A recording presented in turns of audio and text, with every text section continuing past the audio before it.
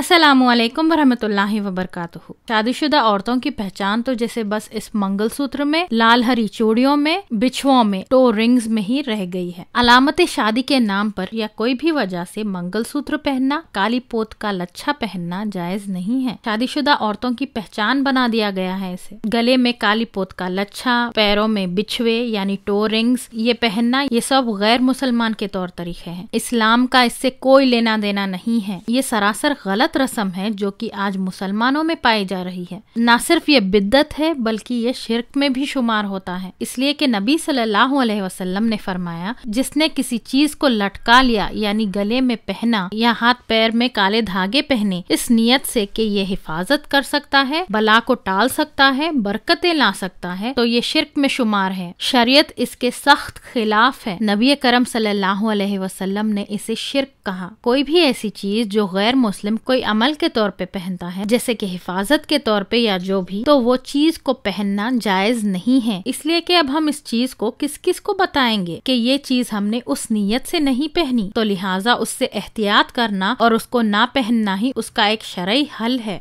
इस्लाम में ऐसा कोई सूत्र नहीं है जिससे सब कुशल मंगल हो जाए मंगल सूत्र मंगल माने सब कुशल मंगल रहेगा जब तक ये गले में लटका रहेगा ये भी तावीज की ही एक शक्ल है जो कि बिल्कुल भी जायज नहीं है लिहाजा लिहाजा मंगलसूत्र पैरों में बिछवे यानी टो रिंग्स या कोई काले धागे काले मोती वगैरह पहनना जायज नहीं है इसे बिल्कुल अवॉइड करें अल्लाह हमारी हिफाजत करे लानती अमल करने से शिरक और बिद्दत से आमीन या रब्बुल आलमीन